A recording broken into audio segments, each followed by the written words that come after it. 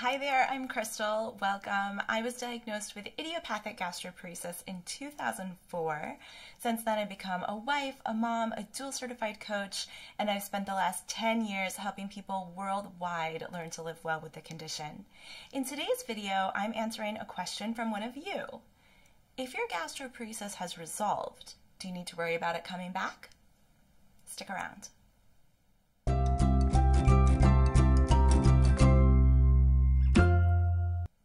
Okay, so today I am answering an email that came in recently from a wonderful woman named Carrie, and Carrie has graciously agreed to let me answer her email on video because I really think this is going to be helpful to a lot of people. So I'm going to read the email. It's a little bit long, but I think the context is important and gives us a lot to dig into and talk about. So here we go. Hi, Crystal. Thank you so much for all you do to help people suffering with this condition. I was diagnosed back in July and I immediately ordered your books. I have to tell you, the best piece of advice was not to go on social media support groups. I had done that and I'm still scarred by what I read on the Facebook group. It was terrifying, and although some things were helpful, a lot were negative. Now I come to my question. I am so fortunate to have recovered, and I've been able to put weight back on, and I'm feeling healthy and strong. But I can't shake the fear that this will come back. If you've had this condition, are you prone to getting it again? I'm still haunted by the Facebook group where the question was asked if this ever goes away, and someone said you may get a break from it, but it's never gone. My gastric emptying test was normal in November, as well as another upper GI emptying scan. Now I just need to recover from the psychological impact. I'd love to hear your opinion on this. If you can have it for a period of time and never get it again. Thank you for what you do. It's truly comforting and helpful. So, the main question in the email, which I don't actually think is the meat of this email at all, but we'll answer this and get it out of the way. Can you have gastroparesis and then it goes away and you never get it again? Yes, I mean, I guess we can't say never get it again for sure, but I have worked with, I know many people who had gastroparesis, it went away, and it's been years and years and years, and they are just fine and living a healthy, normal life. I actually just talked with my motility specialist for a video I recorded on GP and COVID, and if you haven't seen that, I will put a link to it. But he was talking about the fact that, you know, post viral cases in particular, they often resolve over time. And so I think the idea that you might get a break but it never goes away is is nothing more than somebody's opinion to be completely honest i would wager a great deal that that person is not a medical professional is not a researcher and is probably not a practitioner that actually works with gastroparesis patients day after day after day and has seen people recover and go on to live their life. So if the question there is, can you recover and stay recovered? I would say yes, absolutely. But I don't actually think that's the most interesting part of this email. So the first thing I want to talk about are these social media groups. And I do say in my books that, especially when you're newly diagnosed, you probably should stay out of social media support groups for a couple of reasons. One, exactly like Carrie said, a lot of the stuff in there is really scary. And there's not often a ton of support in support groups. There's often a lot of what I have called competitive suffering. And I think a lot of why support groups can feel very negative, can be scary, is if you think about it, they are naturally attracting the people who are struggling the most. People who are not struggling are not looking for a support group, right? I mean, if you think about the fact that there are millions and millions and millions of people worldwide who have gastroparesis, it's such a tiny minority of those people who are in these social media support groups, who are making accounts about gastroparesis on social media and, and sharing, you know, their opinions and their experiences. And so you're naturally getting a skewed perspective of what it means to have gastroparesis. And from the beginning, that's why I started my blog at livingwithgastroparesis.com. That's why eventually I went on to write my books. A lot of what's out there is really skewed toward the most negative outcome possible. And there's a lot out there that is intentionally really scary And I think that comes from a good place. It comes from a place of wanting to raise awareness, for example. There's a shock factor that people want to attract attention to say, this is an important message that you understand people have this condition and we need support and we need funding for research. But I think for people who actually have gastroparesis, a lot of that is incredibly frightening and not at all helpful. And like I said, very skewed. So that's the first piece what Carrie says about not going into these support groups and what she says about the reason behind that, I think is super important, super valid. Now, if you are in an online support group and you find it uplifting, you find it helpful, that's great. What I used to tell people in my group program was if you leave a space and you feel worse than when you went in, that's probably a good indication that that space is not supportive and healthy for you.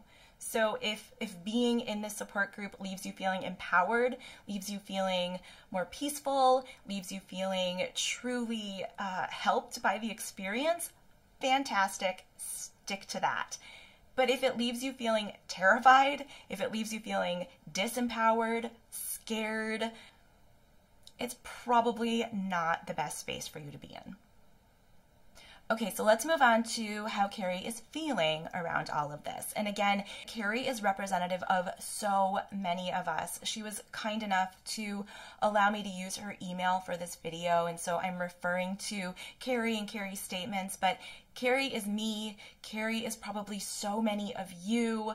This is something that is so common, so human, and that's what we're going to talk about now. So Carrie has what most of us would probably say we want, right? Her symptoms have resolved, her gastric emptying has normalized, she has put weight back on. She does not have gastroparesis at this point. And again, this is not a completely unheard of occurrence. I have two members of my own extended family who had really severe gastroparesis symptoms for an extended period of time, and then they went away and they've had no problems since. But Carrie's brain is stuck in the fear of what she read on the internet, which was you might get a break, but it never goes away. And her brain latched onto that because that's what brains do. When Carrie read that, she got really, really scared, which makes sense. If I had read that when I was newly diagnosed, I'm pretty sure I'd get really, really scared too. And so it was so scary that her brain latched onto it and her brain keeps reminding her of it in an effort to be helpful. And so, right now in this moment, Carrie doesn't have gastroparesis. Carrie doesn't have a, a problem here. The only thing that's going on is that her brain is playing some tapes. Some habitual tapes. Her brain is saying it could come back. You better be on the lookout. What's going to happen if? Da da da da da da da. And Carrie's looking really closely at that and taking it very seriously. And as she keeps looking at it and taking it seriously, the brain is like, okay, this must be important. I'm going to keep playing it. It's like if you picture, you know, a field and you want to make a dirt track in that field and you just drive around and around and around and you wear down all the weeds and the grass and the more you drive the more defined the field becomes right it's kind of what's happening with the brain you're just going around and around this thinking loop and it's just becoming more defined and defined but I mean, the beautiful thing about that is as soon as you see what you're doing, it automatically less, looks less important, right? You get a little bit of space from it, even a tiny bit, even a tiny bit of space. But if we go back to that track, what happens if you stop driving around the track? It becomes overgrown again, right? And at some point, you don't even know a track was there. And it's kind of similar with our thinking. I once heard somebody say that thoughts can die from neglect. And I thought that's so interesting to think of it that way, right? The less attention we pay to these scary thoughts, they just stop coming around because the brain says, well, I guess that's not helpful. You know, I don't have to keep going around that track anymore. And it's not like an effortful don't pay attention because, oh my goodness, try not to pay attention to something. You have to pay attention to it in order to not pay attention to it. It's just really starting to see it for exactly what it is. It is a thought loop caused by one little thing that your brain latched onto at one point and thought was important. It's not true. It's not important. It's not personal. right? It's just something that keeps showing up in the machine that is your brain. And starting to see that just gives you a little distance and it makes it feel less important. And you pay less attention to it and it stops coming around as often. And that's exactly how all of this inside out stuff that we've been talking about, that's how it works. And so when Carrie starts to feel really worried and terrified, it has nothing to do with gastroparesis. That feeling is pointing her to one thing and one thing only, and that is her brain is really busy. I mean, it's kind of a blessing that we feel bad when we have a lot of thinking because that feeling, that worry, anxiety, overwhelm, that is pointing us straight to the fact that we are caught in a thought loop. And that has nothing to do with the about, right? We think we're worried about gastroparesis, but we could just cut it off right there. Like, we're worried, period. We're worried because we're having worried thinking. That's it. That's it. Because in this moment, Carrie does not have gastroparesis. Gastroparesis cannot be scaring Carrie because she does not have gastroparesis right now. What's scaring Carrie is a thought about gastroparesis, but it's a thought, period. Thinking is scaring Carrie, not gastroparesis. And this is true even if you do have gastroparesis right now. If your thinking is, what if I need a feeding tube someday? That's not gastroparesis scaring you. You don't need a feeding tube right now in this moment, right? If you're worried about needing one in the future, that inherently means you don't need one right now. And so, what is scaring you?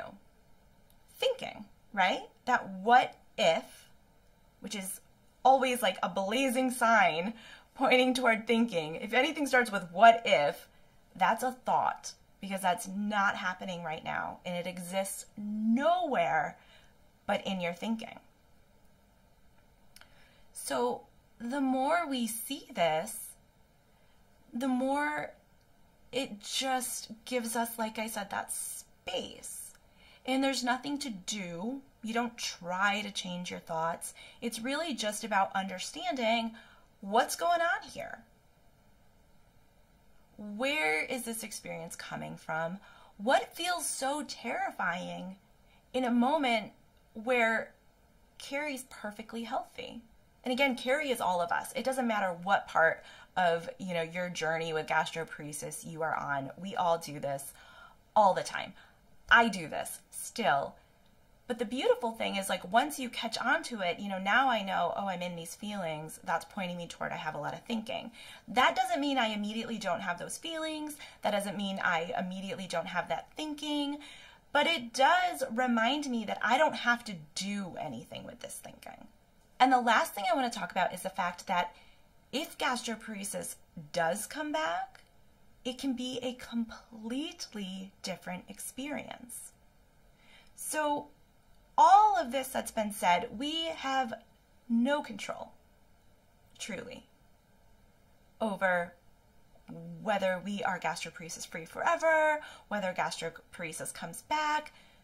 We don't know what's going to happen down the road, right? But even in instances where it does come back, your experience of it can be completely different. And you can still have freedom from the suffering around it. And that has been my case. And that's what I talk about in my video about finding freedom from gastroparesis. It is a completely different experience and that is available to everybody. And that's why we're making these kind of videos because it's not just for people like Carrie whose gastroparesis resolves and they're still really consumed by the fear that it's going to come back. It's also for people who have gastroparesis right now and they're consumed with fear over the future and how long they're going to have this and what it's going to look like and what's going to happen. This applies to all of us. This holds so much peace and freedom for all of us. So, we're going to keep talking about it. Make sure you are subscribed to this channel. make sure you have joined my mailing list. You can do that at crystalsaltrelli.com or livingwithgastroparesis.com. And I hope this was helpful. I hope this uh, gave you a little food for thought, a little peace of mind. I would love to hear what you heard in the comments below. And I will talk to you again very soon.